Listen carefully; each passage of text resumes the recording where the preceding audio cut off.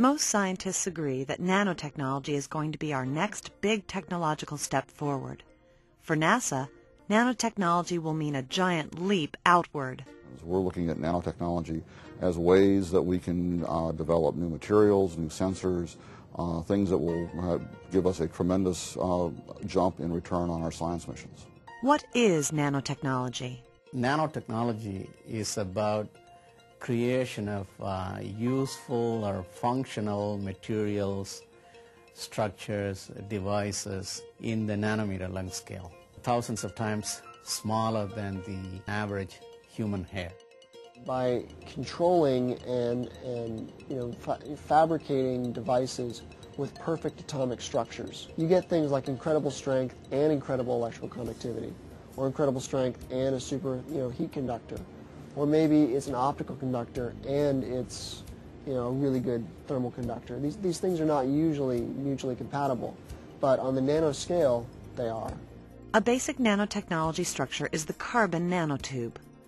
It's a graphite sheet, one atomic layer thick of carbon, wrapped on itself into a tube. It's, it's extraordinarily long and thin, but very, very strong. Researchers at NASA's Goddard Space Flight Center have developed an innovative method for manufacturing carbon nanotubes, which typically are made using a metal catalyst. After they are made, you need to boil them in acid for 48 hours to clean them, get rid of your, of your catalyst. And that it increases their cost. In our case, we don't need the metal catalyst. You have a anode and a cathode. The anode is made out of a carbon rod. The cathode is made out of graphite. You're putting the rod really close to the surface of the cathode. You apply a current and it starts burning up the anode. And that's that soot that deposits on the cathode, that's where the carbon nanotubes are. This new method might have major implications for the future of nanotechnology. We're getting higher yields. We avoid damage of the nanotubes. Uh, the cost is much lower. Real clean single carbon nanotubes, they may cost you $500 a gram. And we can make them for approximately $10 a gram. NASA is also looking at using carbon nanotubes to make novel materials with ideal properties. We expect that the electrical conductivity will be uh, better than copper. We expect the uh, thermal properties to be as good as diamond.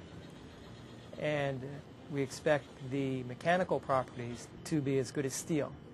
Now, the great thing is, is that this nanocomposite material will be very light these unique properties provided by carbon nanotubes are widely applicable to NASA space work.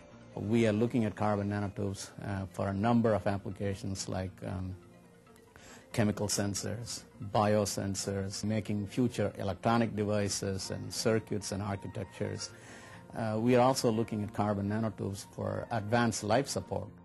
Collaboration is key to achieving NASA's goals. I think collaboration is critical because um, a lot of people have some very creative ideas. Different people have different resources also. Uh, nobody's got enough to do everything. We need to gel our resources and, and find out the best pieces and, and move those pieces forward. Some of this collaboration is taking place within NASA. NASA's newest focus on technology transfer is to find uses of technology development within the agency. We've been working with some of the other NASA centers, such as the Ames Research Center. We have a very wide portfolio of activities uh, in nanotechnology.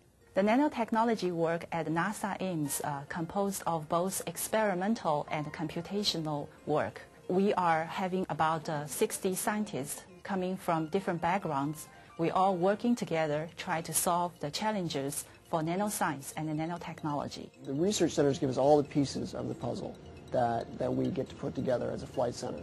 And we take those pieces and we're able to put them together into a picture that is of interest and value to the scientists we, uh, we support. It is important for us to work with uh, mission centers like you know Goddard because they can take whatever we do and then they can actually convert them into a deployable technology. This can only happen with a partnership between a research center and a mission center. NASA is also teaming up with the private, academic, and government sectors. Uh, we're looking to see who else is out there developing nanotechnologies that we could partner with and perhaps spin that opportunity back into the NASA mission.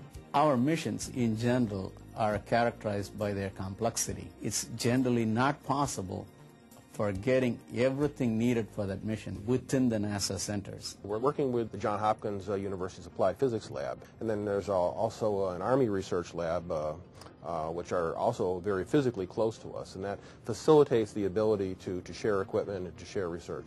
By broadening our scopes, we get access to top graduate students, faculty at, at uh, universities, we get exposed to a lot of the issues within the commercial sector, uh, a lot of startup companies. And NASA is part of the Nanotech Alliance.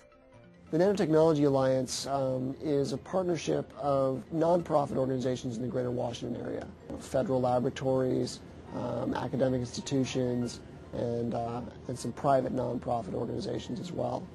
The charter is to you know, facilitate resource exchange in the areas of nanotechnology application development. Collaboration not only advances basic research by combining resources, but it also greatly contributes to technology transfer.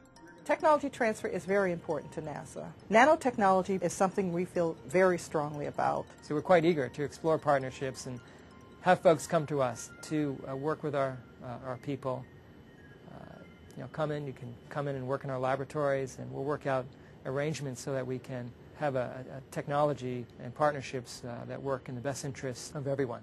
And the potential for nanotechnology inside and outside NASA is enormous, from computers and electronics to healthcare.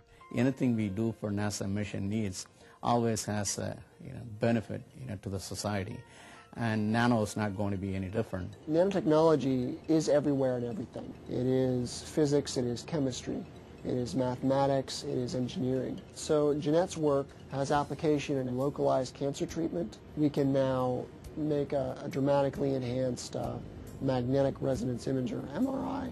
Or imagine that your car is now consuming one-tenth of the gasoline because one-tenth is heavy, but it you know, is four or five times as strong or has features that you never thought were possible, like reshaping itself, expanding for soccer practice, contracting for a fast trip down the coast.